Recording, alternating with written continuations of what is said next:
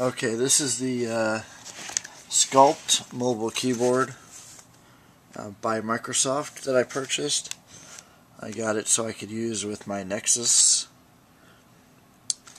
Uh, it's pretty nice. It's Bluetooth. Uses two AAA batteries. The switch there. This is bat where the batteries come in, go in. And I liked it because one, it was thin. It was Bluetooth. I could have gotten a USB for it, um, but this was just actually I got this for twenty five dollars when it's normally online for forty nine, so I couldn't turn that down.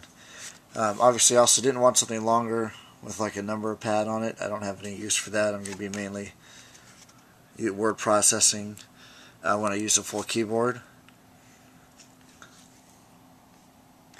So this is the outside of the box that it came in.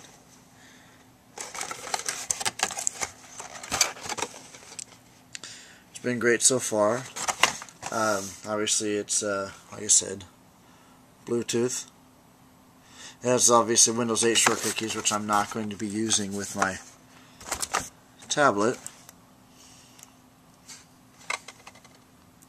Sorry, that was out of focus. So, and I have particularly large hands for how tall I am. At least I've been told so, if you know what I mean. And um, a keyboard smaller than this just wasn't going to work. This is a size 11 shoe. And again, I didn't have a proper measuring like ruler. So the dimensions are listed on the box, I believe, somewhere. Maybe not. I'm sure they're in here somewhere. But I didn't have a ruler, and I decided to do the video anyway. So, there's the keyboard. It's nice. The, the keys don't have to be like punched in real hard or real far. It's real light, and as far as the key feel.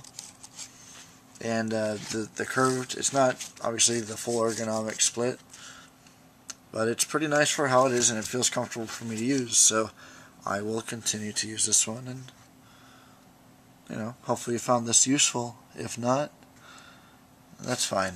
Whatever.